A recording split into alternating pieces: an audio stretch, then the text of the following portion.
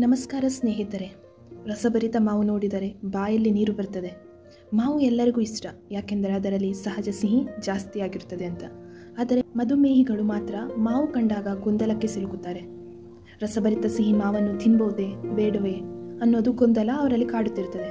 ತಿನ್ನುವುದಾದರೆ ಎಷ್ಟು ತಿನ್ನಬೇಕು ಈ ಪ್ರಶ್ನೆ ಕೂಡ ಅವರನ್ನು ಕಾಡುತ್ತದೆ.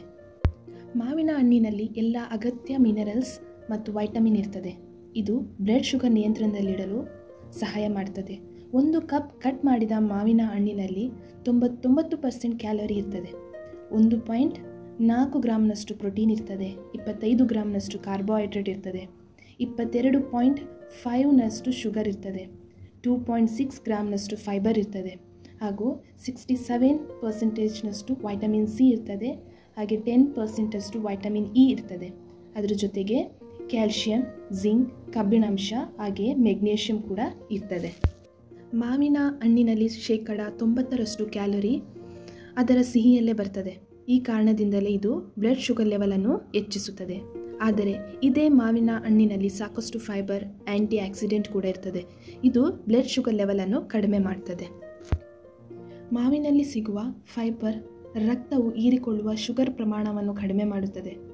ಅದೇ ರೀತಿಯಲ್ಲಿ ಇಲ್ಲಿರುವ ಆ್ಯಂಟಿ ಆಕ್ಸಿಡೆಂಟ್ ಬ್ಲಡ್ ಶುಗರ್ ಜೊತೆ ಇರುವ ಒತ್ತಡವನ್ನು ಕಡಿಮೆ ಮಾಡುತ್ತದೆ. ಇದು ರಕ್ತದಲ್ಲಿ ಬ್ಲಡ್ ಶುಗರ್ ಲೆವೆಲ್ ಸ್ಥಿರವಾಗಿಡಲು ನೆರವಾಗ್ತದೆ. ಯಾವುದೇ ಆಹಾರದ ಬ್ಲಡ್ ಶುಗರ್ ಲೆವೆಲನ್ನು ಗ್ಲೈಸೆಮಿಕ್ ಇಂಡೆಕ್ಸ್ ರ್ಯಾಂಕ್ ಮೂಲಕ ಅಳೆಯಲಾಗ್ತದೆ. ಅದನ್ನು ಝೀರೋ ಟು ಹಂಡ್ರೆಡ್ ಸ್ಕೇಲ್ ಮೂಲಕ ಅಳೆಯಲಾಗುತ್ತದೆ. ಐವತ್ತಕ್ಕಿಂತ ಕಡಿಮೆ ಇಂಡೆಕ್ಸ್ ತೋರಿಸುವ ಯಾವುದೇ ಆಹಾರ ಆಗಿದ್ದರೆ ಅದನ್ನು ನಾವು ಕಡಿಮೆ ಶುಗರ್ ಇರುವ ಆಹಾರ ಅಂತೇವೆ.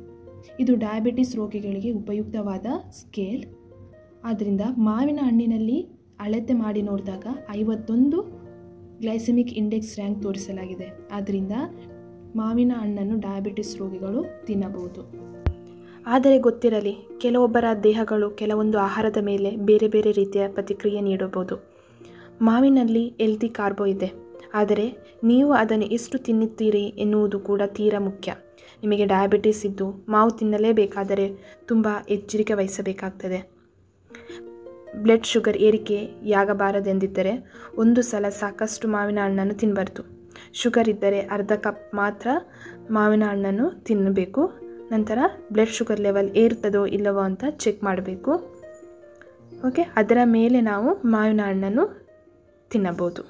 ಓಕೆ ಫ್ರೆಂಡ್ಸ್ ಈ ವಿಡಿಯೋ ಇಷ್ಟ ಆದರೆ ಲೈಕ್ ಮಾಡಿ ಶೇರ್ ಮಾಡಿ ಕಮೆಂಟ್ ಮಾಡಿ ಹಾಗೆ ತಪ್ಪದೇ ಸಬ್ಸ್ಕ್ರೈಬ್ ಮಾಡಿ. ಧನ್ಯವಾದಗಳು.